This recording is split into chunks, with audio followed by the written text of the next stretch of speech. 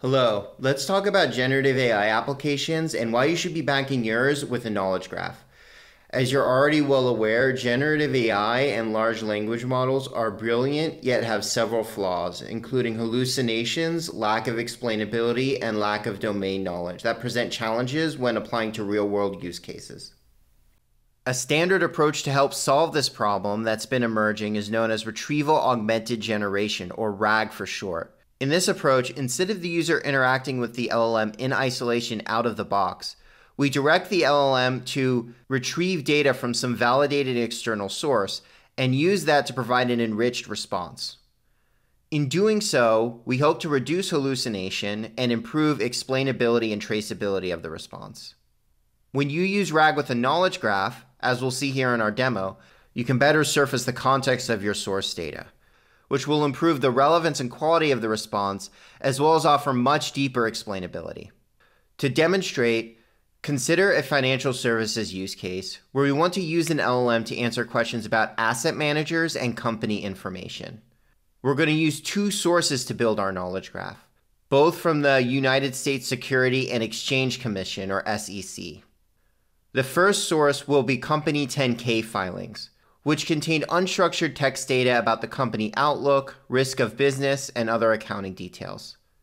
For the second source, we will use Form 13 filing data, which contains information about how different asset managers own equity and liabilities in various companies. So, as an example, Apple could file a 10K, and that stock can be owned by another asset manager like Vanguard, State Street, or BlackRock.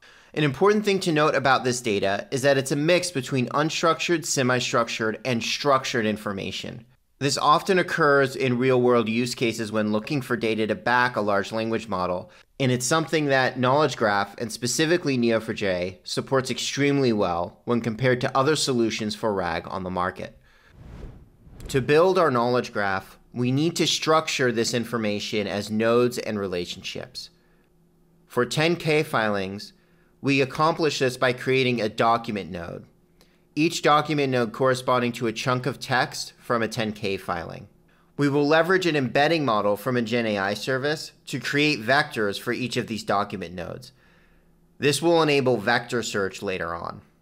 For the Form 13s, we will use Cypher templates to ingest those in a structured way, creating a company node, a manager node, and an owns relationship in between as well as connecting back to the document. In our demo application, we also include an alternative way to ingest Form 13s that uses named entity recognition by leveraging a large language model from a GenAI service provider.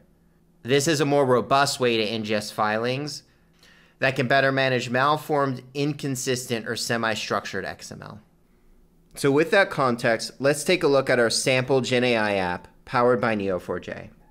Consider a question which asset managers are most vulnerable to a lithium shortage? We can run both a vector powered RAG with just using the vector index, as you'd see with a vector database, and also a vector plus graph approach with the graph, traversal, and pattern matching technology in Neo4j on top of a vector index. And what we'll see in the vector only approach is that while we get a general answer around the types of asset managers that might be vulnerable, we lack a specific list because we're missing the context around which asset managers own which companies.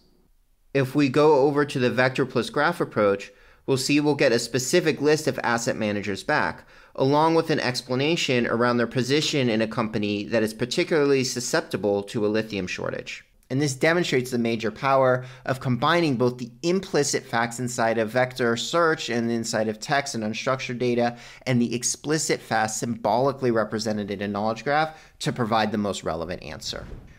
To better see exactly how this works, let's take a look inside of Neo4j itself. In Neo4j browser, we can enter the query that was used for retrieval in the vector plus graph approach. This is using Cypher, Neo4j's graph query language. This query accomplishes a few key things. First, it takes the user prompt and leverages a generative AI service to create a query vector embedding. In this case, we are using Amazon Bedrock, but you can use other Gen AI providers here too, including OpenAI, Google Vertex AI, Microsoft Azure OpenAI, and others. Once the query vector is obtained, we're able to do vector search on the documents inside of our graph. And then we take the documents with the highest scoring match and we look for a graph pattern that connects the documents to the companies that filed them to the investment managers that own those companies. In this case, we're artificially limiting the results to 10 for visibility. Once we get the results back, we'll see this one document in particular that scored the highest in the vector search match. If we look at the text for that document, we'll see a lot of discussion around battery technology, which explains the high semantic match. Then with the graph pattern, we see the company that filed this document, this 10K document, which is Stanley Black & Decker Incorporated, as well as the different managers that hold a position in that company. It is through this subgraph structure that was extracted from the greater knowledge graph that allowed us to answer the user prompt with more specificity and relevance. An added benefit of using this approach is explainability and traceability. Because these ownership relationships and these filing relationships are captured as explicit relationships in the graph, it is very easy to trace back where the information came from and visualize it for multiple stakeholders as needed. We can take this a step further as well. We offer graph data science capabilities along with advanced Cypher pattern matching.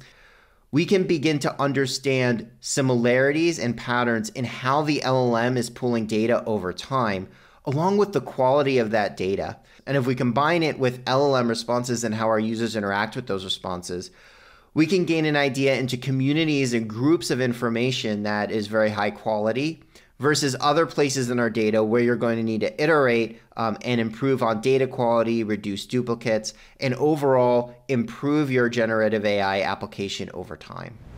Through all of these capabilities, Neo4j unifies vector search, knowledge graph, and data science to improve RAG quality and effectiveness. We demonstrated today how data can be easily imported into Neo4j and used in an application to back an LLM to improve both the relevancy, accuracy, and explainability of responses, and how all these tools can be made available to your developer teams to get started quickly and create your next generative AI breakthrough. Thank you for your time.